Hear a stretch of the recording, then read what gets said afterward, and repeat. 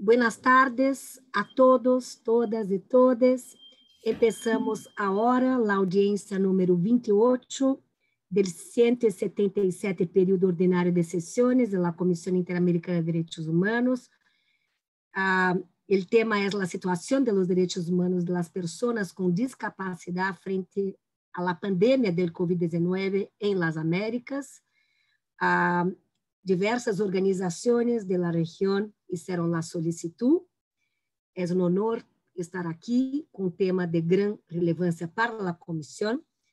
Tenho o honor também de ter nesta audiência mis colegas, a comissionada Margaret M. Macaulay, que é relatora para direitos das mulheres e direitos das populações afrodescendentes e discriminação racial, a comissionada Julissa Mantia, que é também aí relatora para a temática das pessoas maiores e además de mobilidade humana, nossa relatora Redesca, relatora especial para os direitos econômicos, sociais, culturais e ambientales, e todo o equipo da Secretaria Executiva.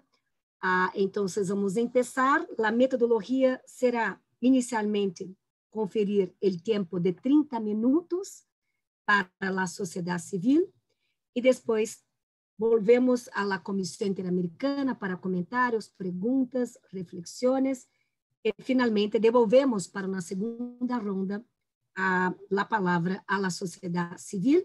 E agora tenho também a alegria de anunciar nosso relator, nosso comissionado Estuardo Ralon, que é justamente relator temático para os direitos das pessoas com discapacidade.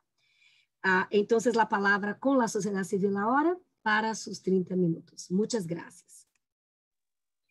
Muchas gracias a usted, comisionada. Muchas gracias, comisionado eh, y personal de la Secretaría Ejecutiva. Eh, es un honor para nosotros estar con ustedes el día de hoy para presentar más sobre la situación de las personas con discapacidad que hoy se encuentran detenidas en instituciones en el marco de la pandemia provocada por el virus COVID-19. Me presento rápidamente. Mi nombre es Priscila Rodríguez. Soy directora adjunta de Disability Rights International. Eh, tengo el honor de presentar a la delegación que me acompaña. Eric Rosenthal, director ejecutivo de DRI, también se encuentra con nosotros el día de hoy. Y presento a mis compañeros y a, mis compañeras y compañeros eh, en el orden en el que, ellos hablarán.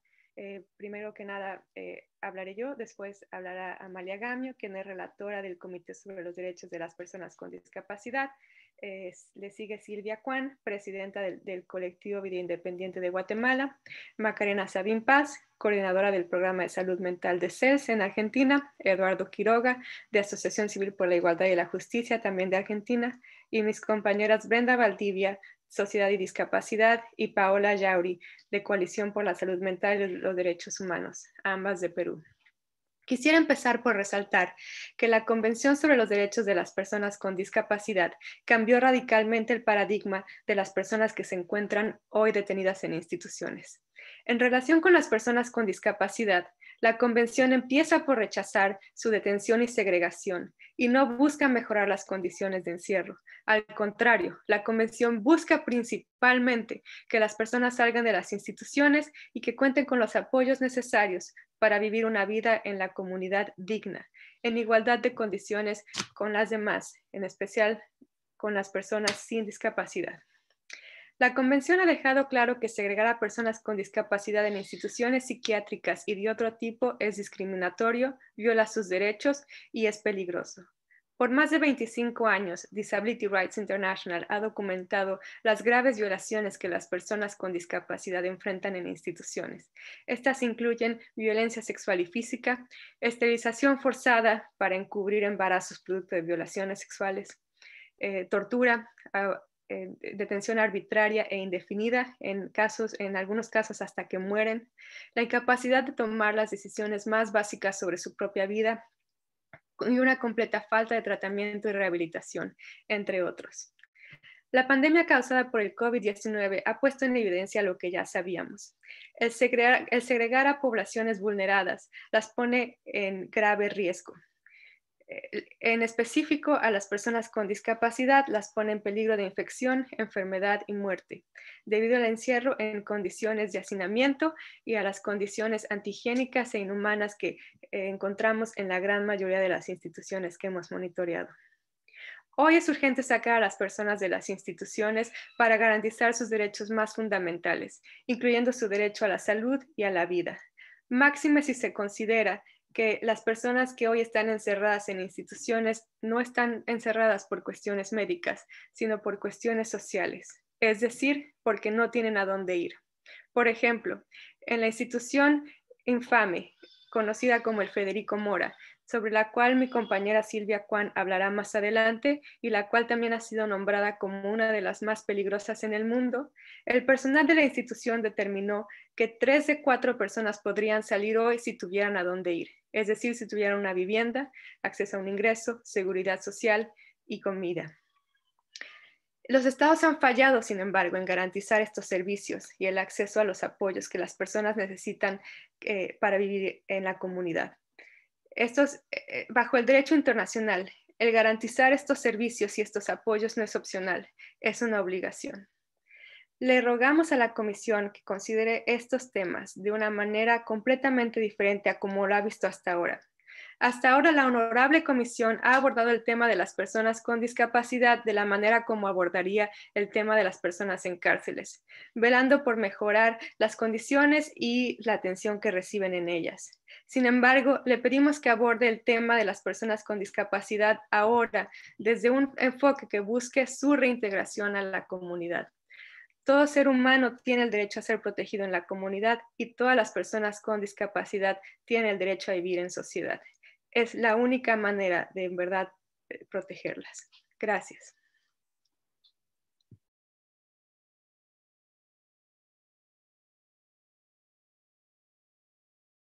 Doy la palabra a mi compañera Amalia Gamio.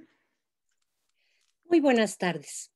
Como seres humanos valoramos mucho tener el control de nuestra vida. Pero aún en el siglo XXI se lo negamos a las personas con discapacidad intelectual o psicosocial segregadas en instituciones.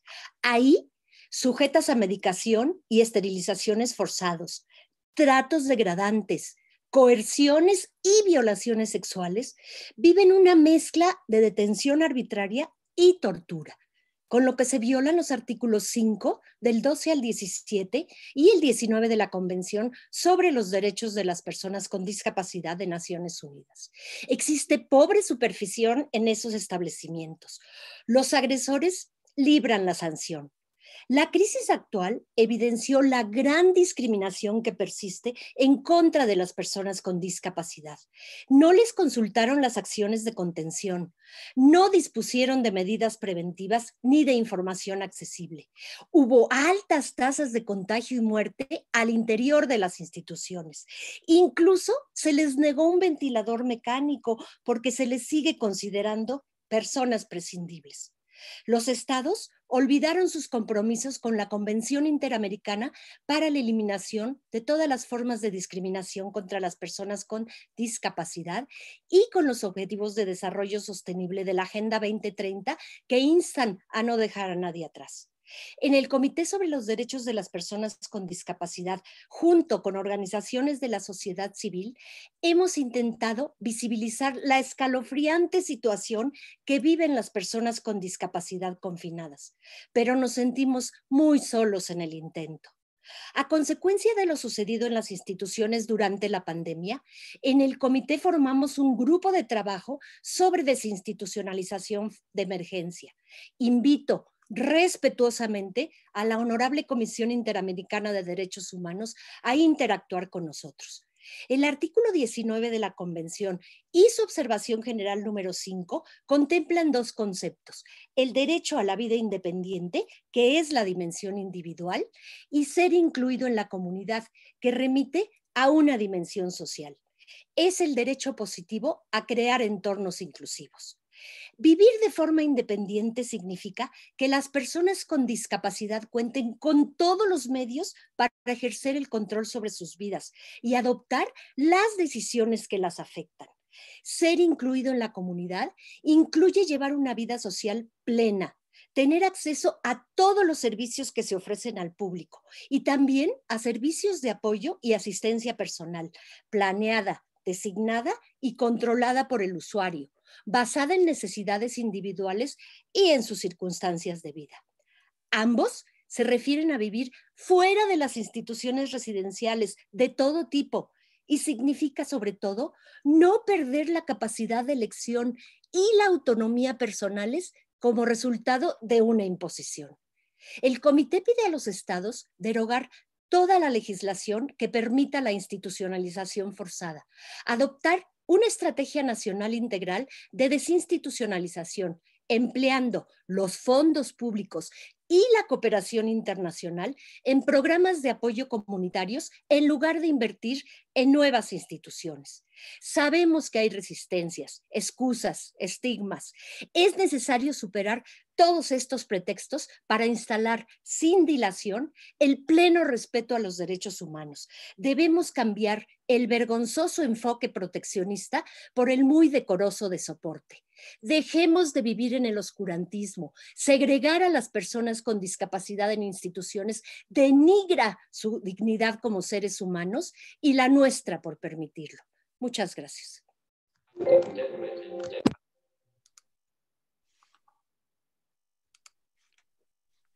Gracias, eh, Amalia. Mi compañera Silvia Cuan hablará ahora.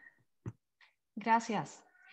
Las condiciones en que se encuentran los pacientes internos en el Hospital Nacional de Salud Mental Federico Mora de Guatemala se caracteriza por notorias, graves y sistemáticas violaciones a los derechos fundamentales cuya responsabilidad es eludida por las más altas autoridades del gobierno en las áreas de salud y seguridad. La negligencia y el abandono en que se encuentran todas estas personas es histórica desde hace décadas atrás y la actual crisis causada por el COVID-19 ha puesto en evidencia la indiferencia y absoluta falta de voluntad del gobierno por cumplir con sus obligaciones básicas, emanadas de estándares internacionales de derechos humanos con los cuales el Estado de Guatemala se ha comprometido y obligado desde el 2009 cuando ratificó la Convención sobre los Derechos de las Personas con Discapacidad. Tras su examen en el 2016, el Comité sobre los Derechos de las Personas con Discapacidad ha urgido la aplicación de una estrategia de desinstitucionalización con plazos, recursos suficientes y medidas de evaluación. Asimismo, ha urgido la asignación de recursos adecuados para el desarrollo de servicios de apoyo incluyendo la asistencia personal que permitan a todas las personas con discapacidad vivir independientemente y ser incluidos en la comunidad, respetando su autonomía, voluntad y preferencias. Guatemala no ha cumplido con ninguna de las medidas cautelares de la CIDH de 2012 ni con las recomendaciones del comité de 2016.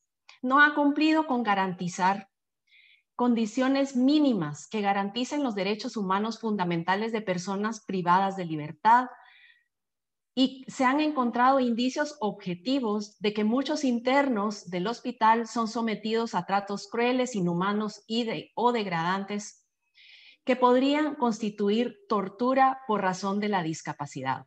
La pandemia del COVID-19 ha desnudado la negligencia y el abandono de las autoridades autoridades hacia la protección de los pacientes del nosocomio.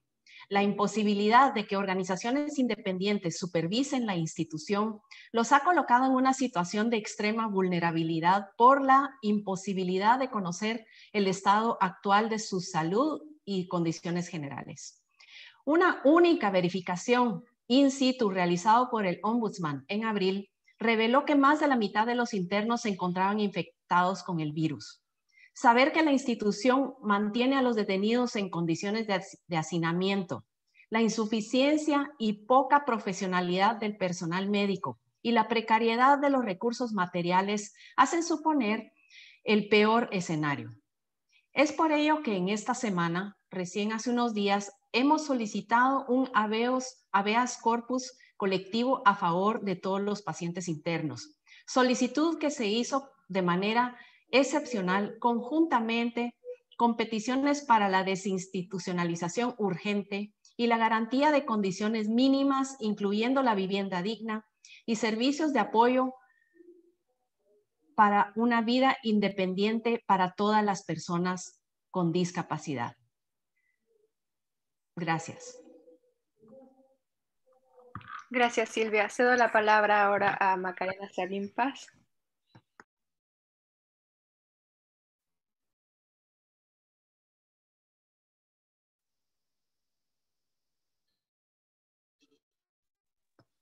Macarena. Eh, si no, podemos primero pasar con mis compañeras de Perú y ahorita regresamos con Macarena porque es posible que esté experimentando algunas dificultades. Eh, Muchas gracias. Buenas tardes a todos y a todas. La Convención sobre la y la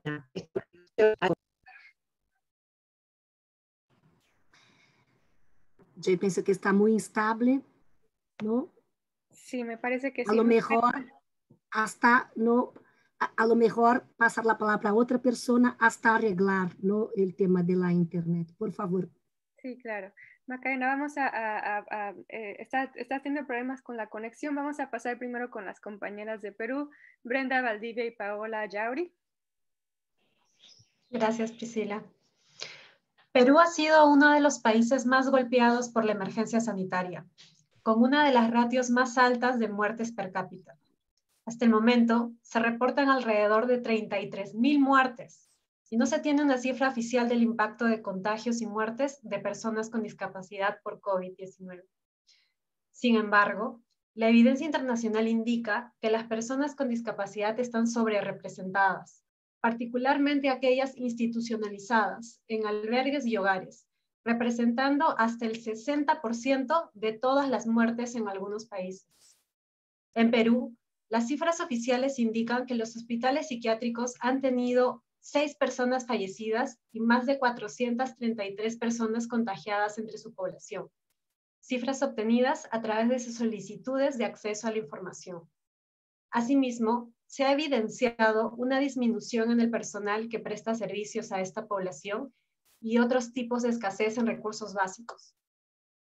Por otra parte, el Programa Integral Nacional para el Bienestar Familiar, INAVIF, alberga en sus centros de acogida residencial a 1.896 niños, niñas y adolescentes, muchos con discapacidad, 391 personas adultas con discapacidad y 275 personas adultas mayores, casi todas con discapacidad.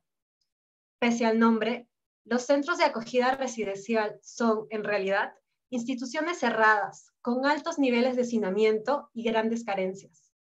Muchas niñas y niños con discapacidad no reciben educación y no tienen ninguna esperanza de salir en esos espacios. Además, en estos espacios también se han reportado decenas de contagios entre el personal y los residentes, según reportajes periodísticos, aunque no existen cifras oficiales. Del mismo modo, existe un número importante de centros residenciales y albergues públicos y privados para personas con discapacidad, de quienes no se tienen registros oficiales y funcionan sin supervisión estatal. No se ha elaborado ninguna política de respuesta dirigida a estas poblaciones.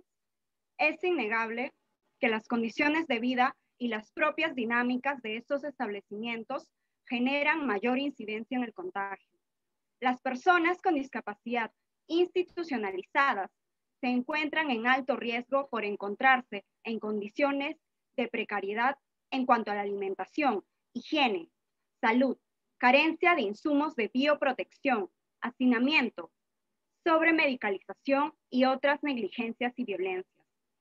La institucionalización no solo afecta de forma significativa el ejercicio de sus derechos y les sustrae de la vida comunitaria, sino que además ha condicionado que se vean severamente afectados por la propagación del virus. Aunque la ley ordena la creación de comités de desinstitucionalización en los hospitales psiquiátricos, poco se ha avanzado en los grandes hospitales donde se han producido los contagios. En el INAVIF no existe ninguna política de desinstitucionalización y por el contrario, el ministerio a cargo del sector ha anunciado la construcción de nuevos centros de acogida residencial para la niñez y personas adultas mayores. donde las personas con discapacidad estarán como siempre sobre representadas. Urge una política de desinstitucionalización con un enfoque de derechos y promoviendo la inserción de estas personas con la comunidad. Gracias. Muchas gracias. ahora sí intentamos con Macarena. Voy a tratar de, tener una mejor conexión, si no va a continuar mi compañero Eduardo en representación de ASIG la Convención sobre los Derechos de las Personas con Discapacidad y la Ley de Salud Mental de Argentina establecen la obligación de sustituir el sistema manicomial por uno la ley establece como año plazo tope para esto el año 2020, para el cierre de todos los hospitales psiquiátricos de nuestro país. El año 2020 ya llegó, pero el sistema de salud mental continúa basado en el encierro y no experimentó cambios sustantivos desde la sanción de la ley. Según el Censo Nacional del año 2019, todavía existen 162 hospitales psiquiátricos y más de 12.000 personas internadas en ellos, a las que deben sumarse las que reconocemos. El promedio de tiempo de internación es mayor a 8 años, cifra que aumenta a más de 12 años en el sector público se encontraron personas que llevan internadas 90 años. El censo también reconoció que en su mayoría son internaciones sin el único criterio que reconoce la ley argentina, constituyendo detenciones ilegales. Las personas que residen en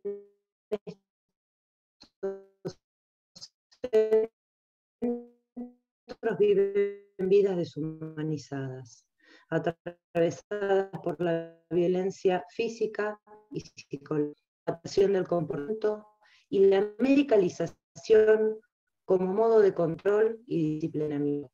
Se ven impedidas de acceder al trabajo, a la educación, a la cultura, una rutina para todos por igual, que se les impone de sus voces y sus deseos. Como dijo Ulises Heredia, persona sobreviviente del encierro psiquiátrico el año pasado ante esta comisión, el manicomio obliga a vivir en la indignidad total y lleva a preguntarse, ¿para qué vivo?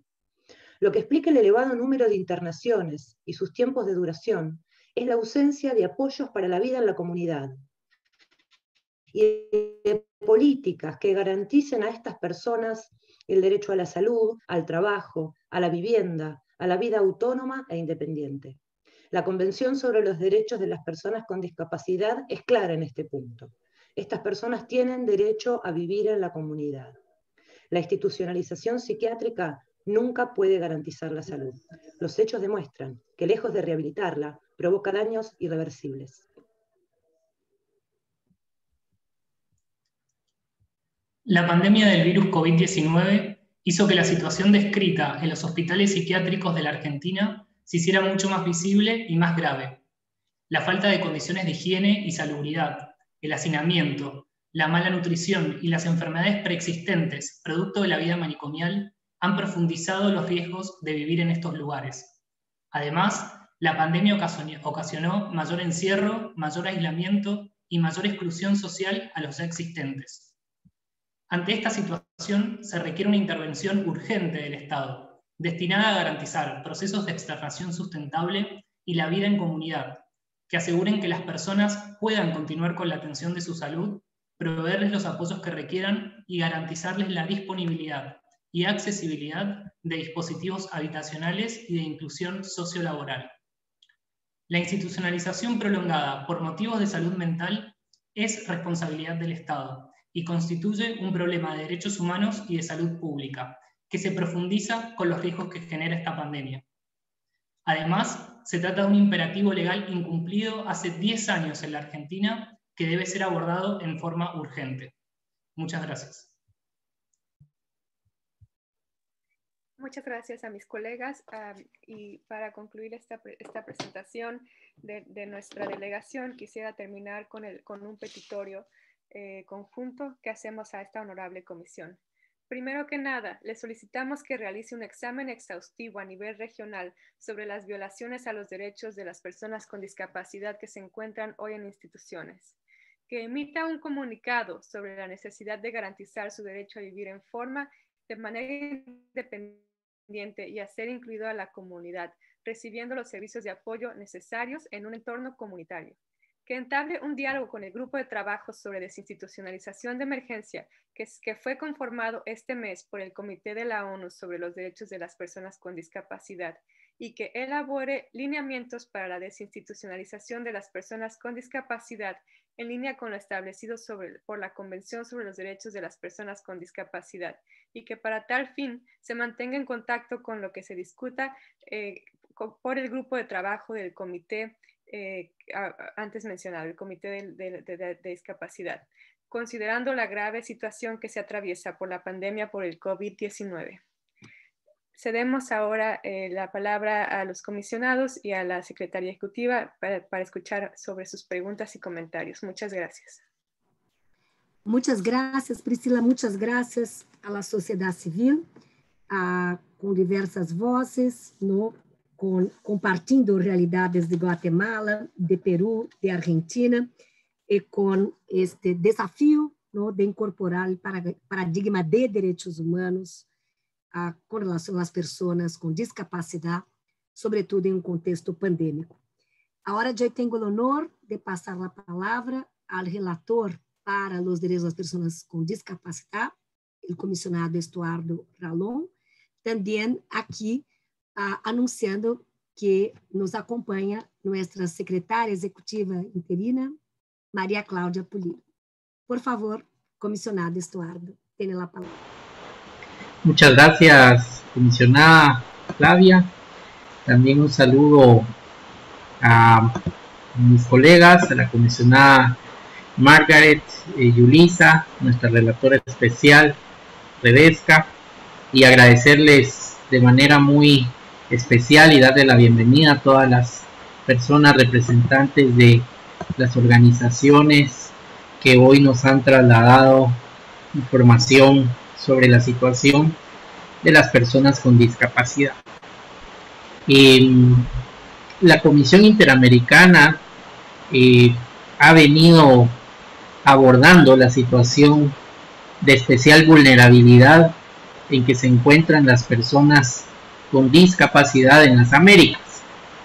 Eh, ha utilizado sus diferentes mecanismos, ha reiterado a los estados su deber de especial protección frente a este grupo vulnerable y de hecho en el actual plan estratégico 2017-2021 pues se identificó la situación de los derechos humanos de las personas con discapacidad como uno de los temas prioritarios.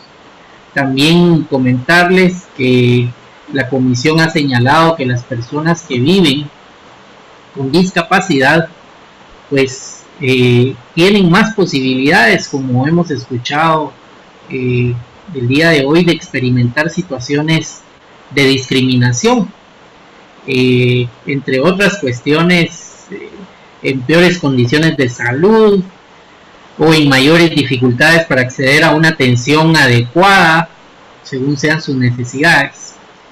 Y conscientes también de que esta situación podría agravarse en el contexto de la pandemia, eh, se emitió un comunicado, un comunicado de prensa en abril de 2020, en donde se hizo un llamado a los estados a fin de garantizar el derecho a la salud de todas las personas con discapacidad sin ningún tipo de discriminación en razón de su condición.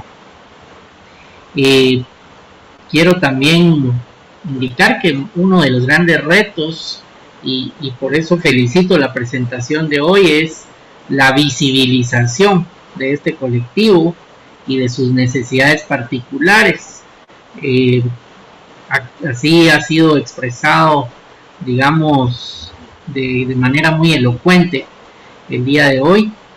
Vimos varios de los comentarios y preocupaciones que ustedes mencionaron, los recogimos en el comunicado de prensa de abril de 2020, como ustedes bien mencionan, eh, donde llamábamos y recomendábamos a los estados a adoptar las medidas necesarias para asegurar la atención médica, en que se adoptaran medidas sanitarias preventivas, en donde se recomendaba también abordar y frenar el tema del hacinamiento en los centros penitenciarios, adoptar estrategias accesibles de comunicación, porque siendo pues obviamente que la pandemia nos ha tomado a todos los estados de la región sin estar preparados para esta situación, que todas las medidas de, mitigación y antes las de, de contención en el tema de, del COVID-19, que era una enfermedad que no se conocía, era fundamental contar con una comunicación que tuviera los formatos adecuados para que no hubiera una desventaja en proteger la vida y la salud de las personas con discapacidad.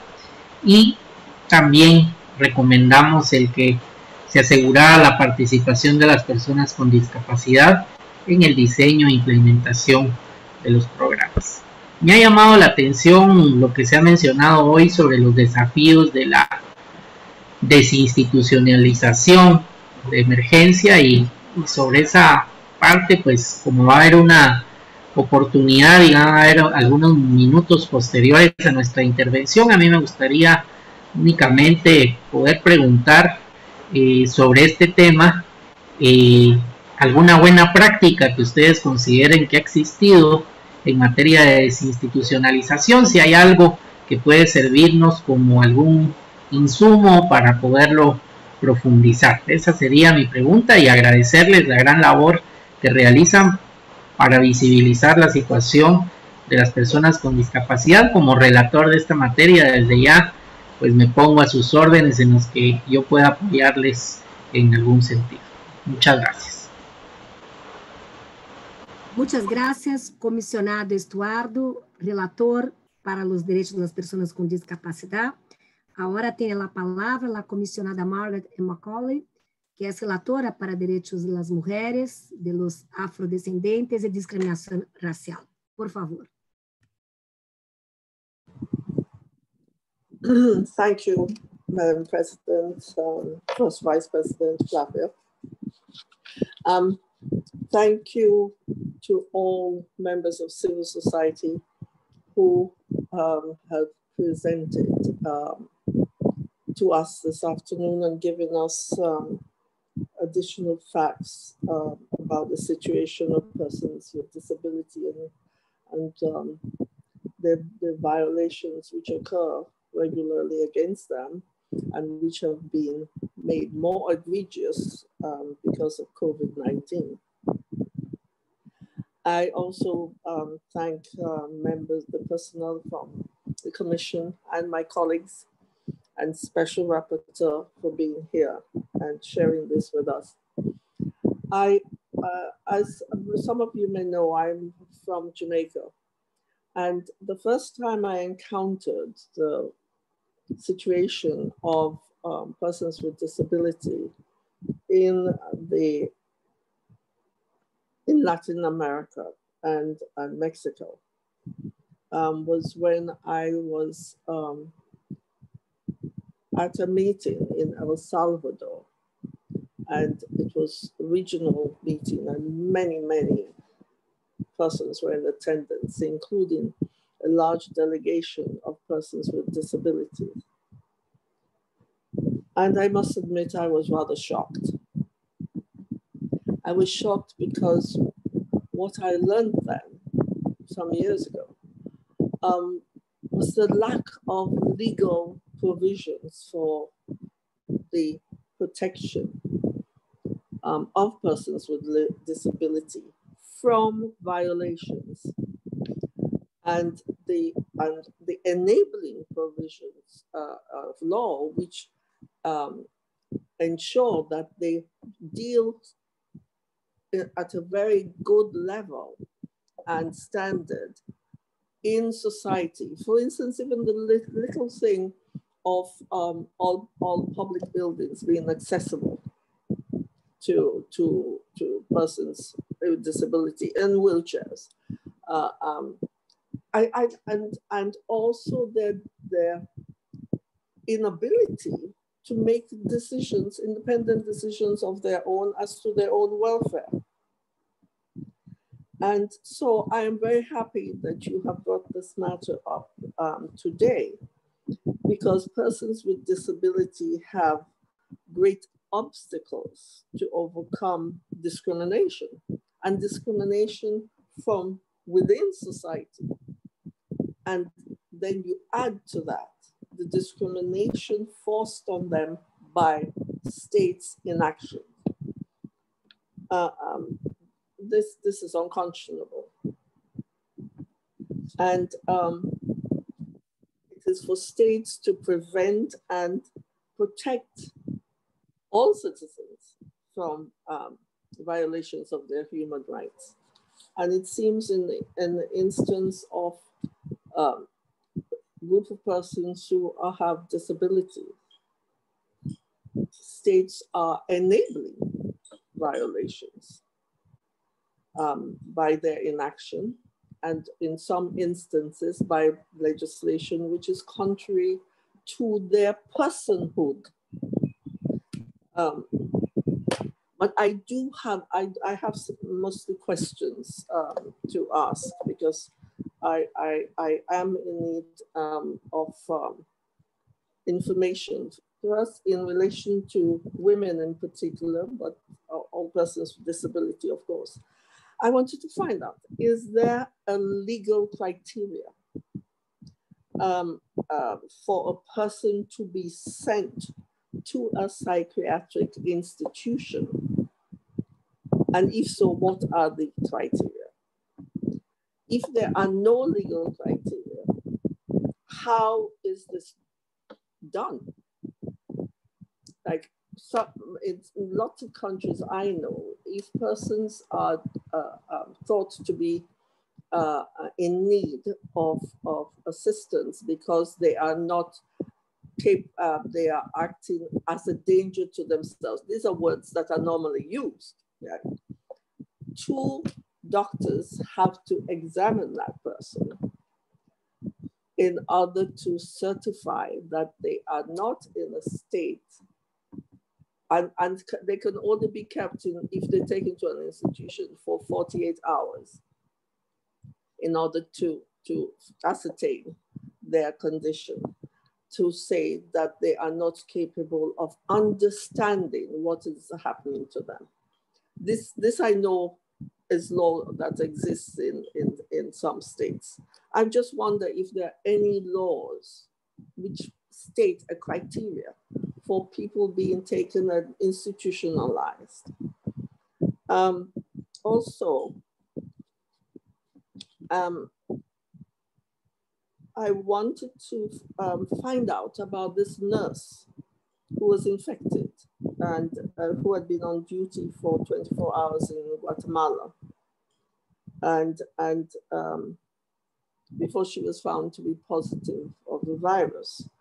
Is there any information from the, uh, the um, hospital uh, um, institute, um, you know, um, persons who run the hospital, or from the Ministry of Health, um, how, how many other staff members were infected and um, how many patients were infected what has been done about the patients and the staff members who were infected. Was the hospital evacuated to be sanitized, cleaned and sanitized? What is its present state now? And, um, and is back in operation with the same patients who are institutionalized there? And also I wanted to ask about orphanages, uh, the orphans um, of Catholic institutions, which seems to be rather plentiful um, in Guatemala. 200, 2,463. Are these orphanages registered? for them to, to operate. They just they're, they're not registered. They just open up and and and have uh, children, and in some instances, I, I suppose adults, uh, um, institutionalized for however long they choose. The the the the, the um, fathers or monks or whoever run them? Did they decide everything? And why does not the law do something about this? And also, um, in Mexico, um, what happens to the people, to anybody in this, and in relation to the other countries who, who are de-institutionalized. Because if they have been in institutions, unable to make decisions for themselves and to live their lives independently, they will need assistance in order to become independent within society. So is this, uh, is help given to them? Is provision made for them to, to find their, their feet? And um, since we since we did the press release 7120 or uh, have we inquired of these states any further information uh, um, about this, the, the, the, the, status of persons with disability in these, in these states. Um, who you have reported to us about here and others, because I know there are others, uh, um, about status of persons with disability. And when we talk about persons with disability, we're not only talking about physical disability, we're also talking about alleged mental. Yes. Yeah, that's what I understood. So please help us because we need the information in order to use all the tools that we have at our disposal. And I know that um, uh, Commissioner Radon is very determined to get some effective work done. And, and of course, we work in an intersectional manner because I need to work on women and also orphanages for children. We need to work on that. And I need to work on Afro descendants who have two strikes against them in relation to discrimination. So if they're disabled, they have three. So um, we don't, we're working into, into section. Thank you. Thank you for listening to me. Muchas gracias, comisionada Margaret. Ahora tiene la palabra la comisionada Julissa, por favor. Muy, muchas gracias, vicepresidenta. Eh, muy buenas tardes, un saludo muy cordial a los, los y las representantes de sociedad civil, a mis colegas de la Comisión Interamericana. Eh, yo quería, en áreas del tiempo, solamente hacer eh, dos precisiones o dos comentarios y, y, algunas preguntas en esa línea. Lo primero tiene que ver con el tema de la salud sexual y reproductiva de las personas con discapacidad, pero especialmente de las mujeres con discapacidad. En el sentido, si ustedes tienen información específica sobre qué es lo que pasa con niñas, eh, mujeres adultas, eh, en relación a la salud sexual y reproductiva. Me refiero, por ejemplo, a los casos que quisieran o no eh, o estuvieran facultados la ley, por la ley o no a las intervención, a las interrupciones del embarazo, pero por otro lado también a las situaciones de esterilizaciones eh, que vayan contra su voluntad. Entonces, ese tipo de información quería saber si ustedes las tenían. Eso en primer lugar. Lo segundo, habían mencionado eh, el tema de la violación sexual eh, contra mujeres institucionalizadas, ¿no? Mujeres, niñas institucionalizadas. Y yo quería saber si tenían más información vinculado a esto, el tema de acceso a la justicia, si se había podido o no denunciar, eh, y, si y en ese tema de acceso a la justicia, si habían los arreglos, los ajustes razonables para que la persona pudiera denunciar, número uno. Y número dos, ¿qué pasaba si esa persona, esa mujer con discapacidad, eh, resultaba embarazada producto de esa violación sexual? ¿Qué es lo que pasa? ¿Se sabe? ¿No se sabe? ¿Hay información? esos son como la primera, el primer grupo de temas que, me, que quería, si ustedes tenían más información. Y lo segundo, como relatora de personas mayores, eh, yo quería hablar sobre este tema, ¿por qué? Porque definitivamente hay una intersección en el tema del envejecimiento y la discapacidad.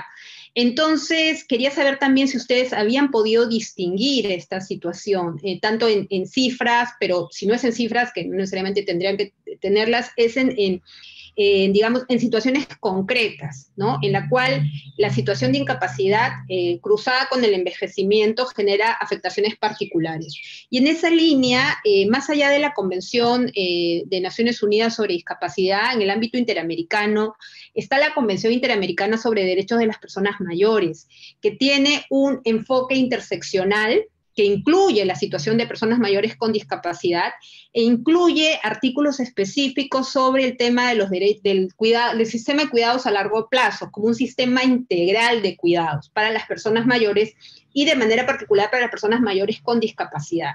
Entonces, en esa línea de integración de un corpus juris, eh, de Derecho, me parecía importante comunicarles sobre esta convención. Esta es una convención que solo ha sido ratificada por siete estados, Argentina, Bolivia, Ecuador, El Salvador, Costa Rica, Chile y Uruguay. Solo tiene siete ratificaciones de los 35 estados de la OEA. Necesita por lo menos eh, tres más para llegar a 10 para poder este, instalar el, no solamente el mecanismo de seguimiento, sino también a partir de estas ratificaciones, los estados tendrán eh, el establecimiento, se aceptan la jurisdicción de los sistemas de peticiones individuales. Entonces, quería compartir esto, ¿por qué? Porque más allá del sistema universal, en el ámbito interamericano, además de las convenciones, está esta convención y me parece que es importante en el cruce entre discapacidad y, y envejecimiento poder tenerla presente. Eso era. Muchas gracias. Muchas gracias, comisionada. Ahora la palabra a nuestra relatora especial, Redesca. Soledad García Muñoz, por favor. Muchísimas gracias, comisionada y presidenta de la audiencia. Buenas tardes a, todos, todas, todes. Eh, muy especialmente, claro, al, al relator sobre derechos de las personas con discapacidad y su par en el sistema universal, la señora Analia Gamio. Realmente quiero saludar mucho esta audiencia tanto por, por centrarse en los derechos de las personas con discapacidad como muy especialmente en un derecho que desde el mandato también venimos impulsando en cuanto a su densificación con la comisión, que es el derecho a la salud mental. En tal sentido, yo quería eh, reflejar eh, el interés del mandato eh, en, dar seguimiento, como lo venimos haciendo, a la que fue aquella audiencia en el 171 periodo de sesiones, en la cual se, planteó la situación de los hospitales psiquiátricos en, Argentina también y toda la situación que hoy se, vuelve a plantear a la comisión. En ese momento, junto con el relator entonces de personas privadas de libertad, nos planteamos hacer una visita a la Argentina que ojalá se pueda concretar en breve. En ese momento el, Estado nos mostró su disposición y, yo quisiera también eh, llamar la atención sobre un reciente comunicado de la comisión y su relatoría especial que tiene mucha total relación con, los temas que hoy debatimos, que es un comunicado del 2 de octubre del 2020, en el cual llamamos a los estados de la región para adoptar medidas urgentes hacia la efectiva protección de la salud mental en el contexto de la pandemia y la garantía de su acceso universal. Creo que este comunicado, por razón de tiempo, no me voy a detener en, explicarlo, pero sí creo que es de muchísima pertinencia y más también siendo que mañana precisamente eh, se conmemora el Día Internacional de la Salud Mental, vamos a, aprovechar, a volver a, hacer eh, promoción de este comunicado tan, tan importante en el contexto que vivimos. Ya la OPS eh, viene, viene subrayando cómo, cómo estamos eh, viviendo la región desde hace tiempo una epidemia silenciosa de salud mental que obviamente afecta con especial agresividad y, efectos bien, bien, bien negativos a, las personas que pertenecen a los colectivos más, más vulnerables de la región.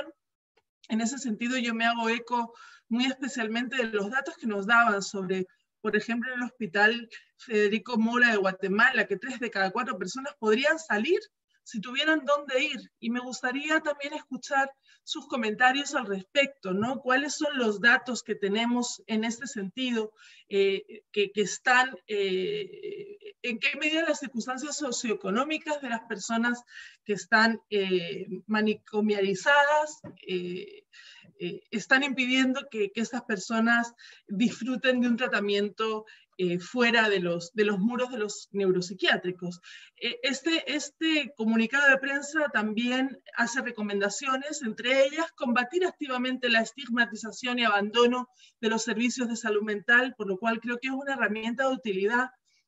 Y aprovecho a llamar la atención sobre una herramienta sobre la que valdría la pena y voy a, voy a invitar muy especialmente al comisionado Ralón a, hacer un, un, trabajo conjunto en, en, relación con unos principios eh, interamericanos que en 1991 promovió la Relatoría sobre Derechos de las Personas privadas de libertad en las Américas de la propia Comisión, que se, fueron los principios para la protección de los enfermos mentales y el mejoramiento de la atención de la salud mental. Miren qué interesante, por ejemplo, el principio 9, donde se refiere al tratamiento y en el punto 1 habla de que todo paciente tendrá derecho a ser tratado en un ambiente lo menos restrictivo posible y a recibir el tratamiento menos restrictivo y alterador posible que corresponda a sus necesidades de salud y a la necesidad de proteger la seguridad física de terceros. O el punto 4, el tratamiento de cada paciente estará destinado a preservar y estimular su independencia personal tenemos herramientas para, para, trabajar en la materia y, ese sería mi mensaje, junto con agradecer muchísimo la audiencia y la oportunidad de participar en la misma. Muchas gracias, relator especial. Uh, Joy, uh, me gustaría plantear una preocupación uh, que tiene que ver con el tema que me parece clave central a esta audiência, que é o tema da institucionalização. É, se queda muito claro, não? eu penso que a comissão está convencida de que o modelo de institucionalização viola os estándares interamericanos, os estándares internacionais, ah, que justamente apuntam ao, ao paradigma de direitos humanos, não? Pero aún também viola, violam o direito à saúde mental. ¿No? Nuestra relatora DESCA aí destacava a comissão sacou com a relatoria DESCA este comunicado sobre saúde mental há uma semana e em tempos de Covid isto tem muito, muita ênfase. Ou seja, se há o direito à saúde mental, esse é todo o paradigma da Convenção Interamericana, da Convenção da ONU para a proteção dos direitos das pessoas com discapacidade, a cultura da institucionalização no é uma violação flagrante ao direito à saúde mental, aos parâmetros básicos, porque significa exclusão, porque significa segregação, porque significa deten detenção arbitrária, não? E por vezes muito larga, não? Eu me quedei em choque de escutar em caso de Argentina por mais de el promédio de oito anos. E, además, sem o consentimento livre e informado. Não? E aí também todo o espaço de vulnerabilidade que se fomentam e que facilitam, oportunizam outras violações de direitos humanos, como abusos sexuais, tratos desumanos, crueles, a violência sexual. Também a comissionada Margaret aqui se preocupa com o tema das niñas, adolescentes, mulheres estupradas, não? vítimas de violência sexual e que ah, estão se quedam embaraçadas. Qual é o destino, não? Como e o tema da comissionada Julissa também, tema da saúde, dos direitos sexuais e reprodutivos dessas mulheres e niñas. Ah, então, aí a preocupação central, não? Uh, evolvo ao tema do comissionado relator Estuardo, que me parece no, de grande relevância, como desmantelar, como erosionar esta cultura da institucionalização. Quais são as respostas? Então, me gostaria também compreender ah, uma vez mais, o tema da desinstitucionalização de emergência, nas boas práticas, ou seja, como cambiar esse estado de coisas que ah, traduz um grave padrão de violação de direitos humanos, que tantos direitos são violados e são vulnerabilizados, não? Ah, ou seja, como cambiar, como transformar, quais são as luzes para este tema. E, además, outro ponto que me preocupa muito é o modelo de incapacidade civil, porque aí outro problema. Muitos marcos jurídicos, eu hablo de Brasil, em 2013 houve a adoção aqui de uma lei de inclusão, não? Pero hasta entonces a visão, a mirada uh, que tinha muito estereótipo e prejuízo que as pessoas com discapacidade não têm a capacidade civil plena. Ou seja, aí se rechaça a condição de pleno sujeito de direito.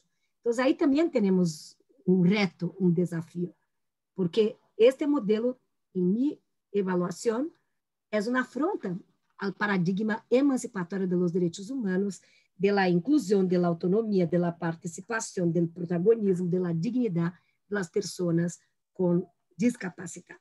Então, dejo esta pergunta, esta reflexão, devolvo a palavra, uma vez mais, saludando muito no, este espaço, todas as organizações, a nosso reconhecimento, respeito, admiração. Também é um honor ter aqui a relatora do Comitê da ONU sobre os direitos das pessoas com discapacidade. Muitas graças, senhora Amália, muitas graças a todos e todas. Uh, devolvo a palavra para o tempo de 28 minutos. E aí, dois minutos para el cierre. ¿no? Por favor, queremos escucharlas y escucharlos. Gracias. Gracias. Uh, first, Eric Rosenthal will speak, and then if uh, hopefully other colleagues also can answer. Thank you. Uh, thank you for the opportunity to respond to these excellent questions. We appreciate the Commission's understanding of the urgency of protecting people and getting people out of institutions where they should not be. We at Disability Rights International have been working for 25 years to stop the abuse, to stop the rape, to stop the torture, to provide safety for people with disabilities. And there is one lesson after 25 years that you cannot provide safety inside an institution. You cannot provide mental health care inside an institution the very fact of putting a child or an adult at institution is traumatizing. You can't provide good mental health care inside of these facilities. The UN Disability Convention requires a totally new way of thinking about these issues. It's not about having good laws to determine who is properly or improperly put in an institution. It is not about just making sure that institutions or orphanages are registered or not registered. No one should be there. They all need to be closed down. Now, COVID 19 means that these institutions are like a house on fire. What do you do when your house is burning down and people are dying? You get them out. Emergency deinstitutionalization is about the best and only way to bring safety for these facilities. We are very much afraid that the mistakes we have seen for 20 years will be made again, that people will try to put out the fires and rebuild cleaner, better, safer institutions. They'll try to write new laws to decide who gets locked up and who doesn't. We don't want new laws. We don't want cleaner institutions. We don't want safer institutions. We want no institutions. The solutions are there. They have been proven. We will work with you. Most people are in institutions because they have no place else to go. It is very important that this not be an excuse simply to dump people from institutions onto the streets. Once they have locked people up, they now, governments are under an obligation to provide safety. That means basic housing and basic supports that people can choose all people with disabilities have a right to make choices about what kind of treatment and where they want to live. But the governments must provide. You want to know the solutions to deinstitutionalization? Housing first. Give people a safe place to live, and then we can worry about all of the other details later. Get them out of the burning house. Thank you for your urgent help. We look forward to working with you on this. Thank you very much, Eric. Amalia? Gracias, Priscila. Muchísimas gracias a todos los comisionados por eh, escucharnos y por todas sus importantes aportaciones. Voy a tratar de ser muy breve. Solo quiero reforzar, bueno, yo soy parte del Comité sobre los Derechos de las Personas con Discapacidad de Naciones Unidas. Quiero resaltar dos cosas. Una, cero institucionalización. Como dije en mi intervención, tienen que estar fuera de cualquier institución, de cualquier tipo, ni casas pequeñas, ni nada, fuera de cualquier institución. Ese es el fundamento de la convención. Dos, em, me, da mucho gusto que la comisionada sobre los niños eh, esté preocupada porque efectivamente son mujeres y niñas con discapacidad psicosocial e intelectual las que más están siendo violadas sus derechos en las instituciones. Por supuesto que son embarazadas, por supuesto que eh, se les hacen abortos, se les hacen eh, esterilizaciones sin su consentimiento. Por eso, por eso dije, hay que salir del oscurantismo, porque estas cosas están sucediendo hoy, en este momento, como si estuviéramos en la época del oscurantismo. Y por último, quiero... Em, también resaltar que, la comisionada Julisa en relación a, los derechos de los adultos mayores por supuesto que es importante. Hemos hecho muchas recomendaciones a los países de parte del comité para la desinstitucionalización de los adultos mayores que también sufren de muchas violaciones por parte de la familia, por quitarles los, las herencias, por muchas otras situaciones. Y quiero volverlos a invitar a que se sumen a este grupo de trabajo que acabamos de formar en el Comité sobre los Derechos de las Personas con Discapacidad sobre desinstitucionalización de emergencia, que fue creado justamente porque de por sí ya estábamos muy preocupados por las personas institucionalizadas y después de la pandemia literalmente estamos horrorizados. Por lo tanto, los invito respetuosamente a que se unan con nosotros. Muchas gracias. Muchas gracias, Amalia. Macarena. Sí, solo un minuto para señalar que las mujeres atraviesan una, situación de vulneraciones acumuladas y agregadas por su condición de género. Eh, las mujeres que están encerradas hoy bajo estos contextos psiquiátricos manicomiales, eh, además sufren de la opresión eh, del sistema patriarcal, sufren esterilizaciones forzadas, como dijo Amalia. Por ejemplo, en la Argentina estamos haciendo un trabajo para que se modifique la ley de contracepción quirúrgica que tiene una sola excepción para brindar consentimiento, y es las mujeres con discapacidad que han sido declaradas incapaces. Y eso está avalado por una ley nacional. Son separadas de sus hijos y de sus hijas en la mayoría de los casos de por vida. Sus derechos sexuales y reproductivos no son, no son abordados y su sexualidad es considerada como una manifestación de supuestos hechos psicopatológicos o, patologizantes. Entonces, sin ninguna duda, las mujeres y las niñas en toda la región sufren de vulneraciones y de violaciones a sus derechos humanos que tienen que ser comprendidos desde la interseccionalidad, patriarcado, pobreza y eh, sufrimiento mental o salud mental. Solo para terminar, voy a comentar con ustedes para que vean la gravedad el motivo de internación de una mujer que estuvo internada en una institución psiquiátrica durante 70 años. Y en la historia clínica decía que primero había desatendido las labores de la casa, luego había desatendido el cuidado de los hijos y finalmente había, desatendido el cuidado sobre el marido. Y este era el motivo de internación de una mujer que estuvo viviendo en una institución psiquiátrica durante 70 años. Muchas gracias. Gracias, Macarena. Silvia.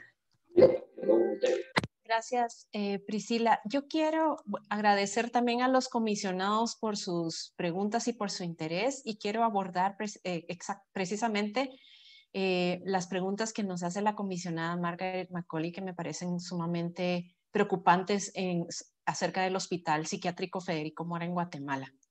quiero comentarle que a partir de que un enfermero se contagió de COVID, eh, a inicios de abril. Em, la infección se ha, se, em, ha corrido por toda la institución y eh, lo último que supimos era que más de la mitad, es decir, alrededor de 159 pacientes internos de 323 más o menos eh, estaban contagiados, pero lo preocupante quizás, em, como eh, siguiendo la línea de lo que argumentó Eric recién, es que, claro, la casa se está quemando, pero mientras los gobiernos, las autoridades deciden qué hacer por apagar el fuego y, y que no se queme la gente que está adentro, tenemos que tener un sistema de monitoreo independiente y actualmente no lo hay. Y nos preocupa sumamente porque el ombudsman hizo una sola visita desde que la pandemia inició y esta la realizó en abril. Y después de esa visita que hizo en abril, em, el ombudsman ni ninguna otra institución independiente como la nuestra, por ejemplo, el colectivo Vía Independiente, ha tenido la posibilidad de hacer una supervisión objetiva eh, y con enfoque de derechos humanos dentro de la institución, por lo que en realidad no tenemos ninguna forma de verificar lo que las autoridades dicen que está pasando dentro de la institución y según las autoridades ya todo el mundo se curó, que es fantástico porque ni siquiera en los países más desarrollados sucede eso. Este, es decir, nosotros le pedimos a los, a los honorables comisionados que le hagan esa petición es, específica al Estado de Guatemala. Queremos desinstitucionalizar, desinstitucionalizar el Federico Mora. Mientras eso sucede, porque sabemos que es un proceso, queremos tener acceso a la supervisión independiente, ya sea hecha por las organizaciones de sociedad civil o en conjunto con el ombudsman, porque ni siquiera el ombudsman ha, tenido la posibilidad de hacer esa supervisión, ingresar al hospital y verificar eh, in situ lo que está sucediendo. Y la segunda pregunta que hace la comisionada Macaulay, quiero contestar en relación a las instituciones, muchas de ellas religiosas. Hay que decir que el sistema de supervisión de esas instituciones también es sumamente débil. Eh, y hay que decir que muchas instituciones en un país como Guatemala están coludidas, coludidas por poderes eh, paralelos, incluso el crimen organizado, y eh, sucede en algunas instituciones incluso un fenómeno que Disability Rights International ha documentado muy bien, el volunturismo, es decir, eh, voluntarios que, que, visitan Guatemala de otros países pagan por hacer un turismo de, voluntariado en estas instituciones Em, y es decir, reciben donaciones de los voluntarios y los voluntarios pues llegan supuestamente a hacer una buena obra, eh, pero en realidad llegan pues a, explotar la imagen de quienes están ahí, de los pacientes, de los niños, de las niñas con discapacidad, etcétera, eh, y un mal uso, por supuesto, totalmente de eh, este tipo de instituciones. Nuevamente el mensaje es desinstitucionalizar y monitoreo independiente eh, es una petición urgente a la par de la, de la petición de la desinstitucionalización. Muchas gracias. Gracias, Silvita. Paola. Sí, eh, gracias. Eh, desde Perú agradecemos todas sus preguntas, muy interesantes. Contestando a la comisionada Mantilla sobre las mujeres con discapacidad, en Perú hasta el 2012 estaba vigente la norma técnica de planificación eh, familiar que permitía esterilizaciones forzadas hacia mujeres y cuerpos feminizados con discapacidad. Eh, asimismo, estaba vigente eh, en el protocolo de aborto terapéutico, el único legal aquí en Perú, que admitía que una tercera persona decida, pero ello ya no está vigente gracias a la reforma que se ha dado en el 2018 eh, de capacidad jurídica para las personas con discapacidad. Solo. Gracias. Gracias, Brenda. Muchas gracias. Queríamos añadir lo siguiente. Perú ha ratificado la Convención sobre los Derechos de las Personas con Discapacidad de Naciones Unidas desde el año 2008. Cuenta con una ley de personas con discapacidad desde el 2012 y actualmente tiene una reciente ley de salud mental de 2019 y su respectivo reglamento de este año. Todas estas normativas indican expresamente el reconocimiento pleno del ejercicio de todos los derechos de las personas con discapacidad, lo que incluye un urgente proceso de desinstitucionalización y externación, evitando que sean a otros espacios de institucionalización, porque corremos el riesgo de replicar el mismo modelo manicomial solo que en espacios físicamente más pequeños, pero con la misma lógica de condicionamiento de la autonomía. En este proceso es urgente, no solo porque es una deuda histórica, sino porque estamos perdiendo vidas desde ya. mientras estas personas siguen encerradas y privadas de su libertad y ejercicio de derechos. Necesitamos espacios que puedan ser creados desde las mismas voces, experiencias, acompañamientos y saberes de las mismas personas del colectivo, respetando desde ya el conocido lema, nada sobre nosotros sin nosotros. Gracias. Gracias. Y por último, Eduardo. Muchas gracias. Me gustaría sumar también en esta audiencia una medida fundamental para llevar a cabo el cambio que se ha planteado y proceder a la desinstitucionalización. Y es el aumento de los recursos que los países de la región destinan a la salud mental. Este es un problema que ha remarcado la Organización Mundial de la Salud y la Organización Panamericana de la Salud. Para dar un ejemplo, en el caso de Argentina, nosotros tenemos una pauta legal que establece ya hace 10 años que el 10% del gasto total de salud debe destinarse a salud mental. Sin embargo, a 10 años de la ley, solamente se destina un porcentaje menor al 2% y de acuerdo al proyecto de presupuesto para el año 2021, se, se pretende destinar para el año próximo el 1,5% del presupuesto total de salud a salud mental.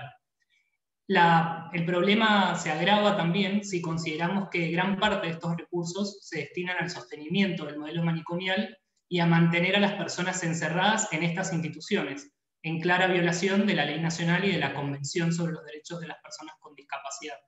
Por eso nos parece importante resaltar también que mm, no solo hay que aumentar los recursos para la salud mental, sino también redireccionarlos a la atención comunitaria, particularmente al abordaje de la salud mental en el primer nivel de atención, a garantizar la atención de la salud mental en los hospitales generales, tanto de forma ambulatoria como atención de internación y ya no en los hospitales psiquiátricos, a la creación de dispositivos que permitan la vida en comunidad y también a asegurar que las personas que son externadas de los hospitales psiquiátricos tengan externaciones sostenibles, es decir, proveerles los apoyos financieros, asistenciales o de cualquier otro tipo que permitan el mantenimiento de su externación y no la reinternación de esas. Y por último, a, fortalecer los organismos de control y de protección de derechos de las personas que se encuentran encerradas en los hospitales psiquiátricos.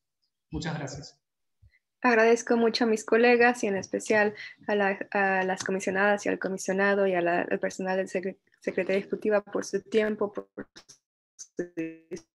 sus preguntas y sus comentarios y eh, les haremos llegar más información al respecto sobre las preguntas que nos formularon el día de hoy y también con nuestras presentaciones. Gracias. Muchas gracias a la sociedad civil, muchas gracias por compartir tanta información, por compartir sus preocupaciones y también sus luchas ¿no? extraordinarias por derechos, por justicia, por cambios. Ah, una vez más el compromiso de la comisión, el compromiso de cada uno, de cada una, desde la perspectiva de la interseccionalidad, com a causa da dignidade, da autonomia, da inclusão, da participação das pessoas com discapacidade e com a ativação, a implementação do direito à saúde mental. Eu penso que aí são duas frentes, não, que estão muito alinhadas desde uma perspectiva integral dos direitos humanos e aqui o compromisso pleno, absoluto, total de la comisión con esta causa. Muchas gracias a todos, a todas. Con esto cerramos nuestro 177 período ordinário de sessões. Esta é a última audiência, tivemos 30 audiências essa semana. Então, saludos muito afetuosos, muito cordiais, toda a solidariedade, empatia e compromisso. Muitas graças. Muchas, Muchas gracias. Thank you to my interpreters. Thank you to the interpreters. My life. Life. Thank you. David and Nancy, you're great.